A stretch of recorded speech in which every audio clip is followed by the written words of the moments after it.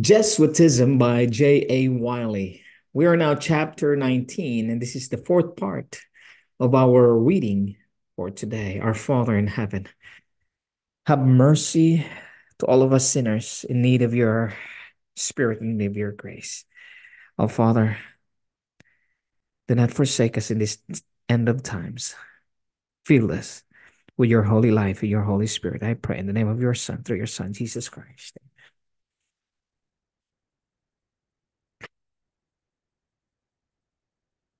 Page 110 of this book, J.E. Wylie wrote, There never was contrived and set a going in a more a more powerful and complete instrumentality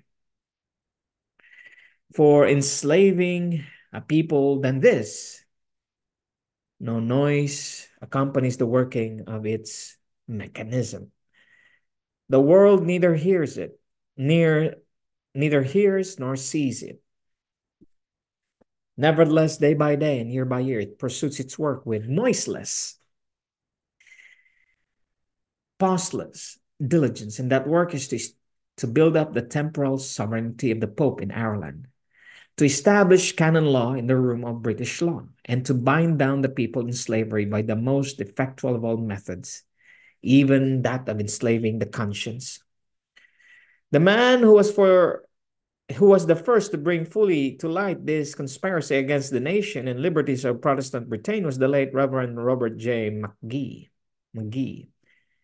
His startling discovery of the secret diocesan statutes of the Romish province of Leinster laid bare the, the treason of the priesthood.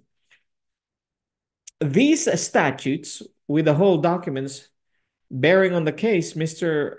McGhee deposited in the University Library, Cambridge, the Bodleian Library, Oxford, and the Library of Trinity College, Dublin in 1840. Upon the requisition of the Lord Lieutenant, nobleman, and gentleman of the country of Huntingdon, Huntingdon, these documents were carefully examined and verified, and Mr. McGhee's printed report on them ratified by the Vice Chancellor of Cambridge and subsequently by eminent authorities in Oxford and Trinity College, Dublin. Dublin.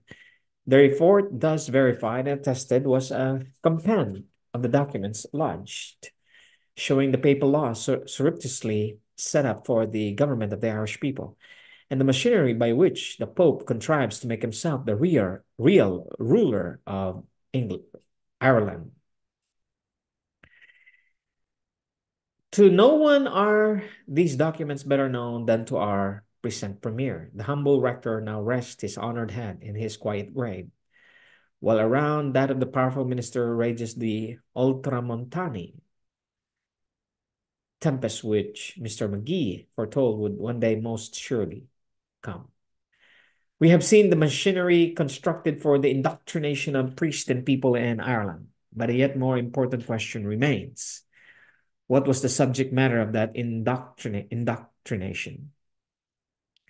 The subject matter of indoctrination was the whole body of Roman law, which has been published by the hierarchy and put in force in Ireland for the government of its people. These include some of the most tyrannical canons in the Statute Book of Rome, and among others, some which she dare not publish and put in force in some popish countries because their governments have forbidden them on the ground that they would subvert the authority of the sovereign and destroy the liberties of the people. In short, upset everything in the kingdom. But the greater tolerance of the British government has suffered to be published while other governments have placed under ban. And the consequence is that Ireland is more rigorously ruled by papal law than most popish countries on the continent. It is this whole body of law, including the very worst of Rome's statutes, which is being graven as with a pen of iron, first on the conscience, consciences of the priesthood by means of their daily readings and annual conferences and examination. The rest in the consciences of the people by the regular catechizing and indoctrinations to which they are subjected by the priest in the in the confessional. Shall we, shall we sow the wind or permit it to be sown and trust not to reap the whirlwind? We'll continue the next paragraph on page 111. The next time, may God our Father to bless you in his only begotten divine Son, Jesus Christ, be gracious